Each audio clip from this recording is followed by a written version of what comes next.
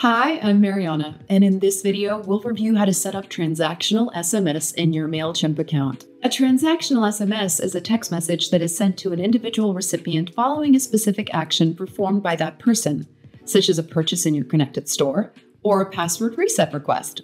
Ready to dive in?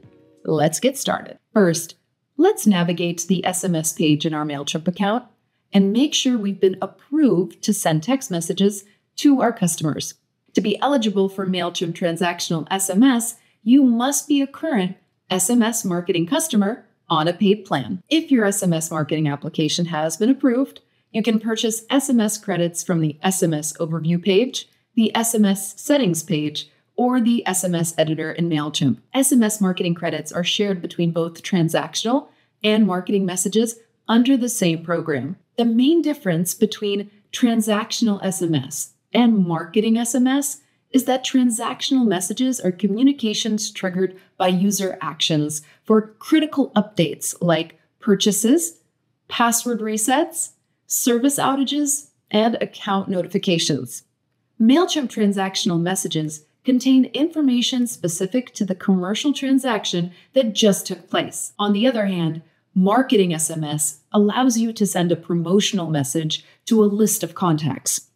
Whichever we send, they'll both draw from that same pool of credits. Once our SMS program is active, we can head over to Transactional in the Automations dropdown. We'll click Launch App to enter our MailChimp transactional account. We'll need to navigate to the Settings page and set up an API key. You can learn more about setting up an API key using our Transactional API Quick Start documentation. With everything set up, we can start sending SMS messages. Once we choose a valid API key, we'll make the first SMS call. This is the endpoint to use. For more information about how to set up the MailChimp transactional account and send your first transactional SMS, check out the API reference documentation.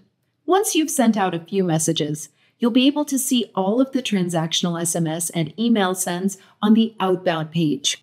If you want to separate the activity by marketing channel, navigate to the double arrows and choose Sort by a specific tag.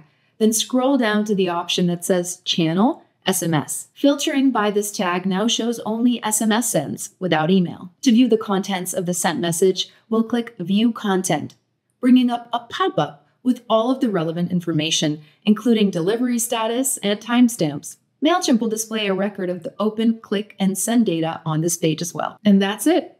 You're now ready to start sending out MailChimp transactional SMS to your customers. To learn more about MailChimp transactional, watch our in depth video tutorial.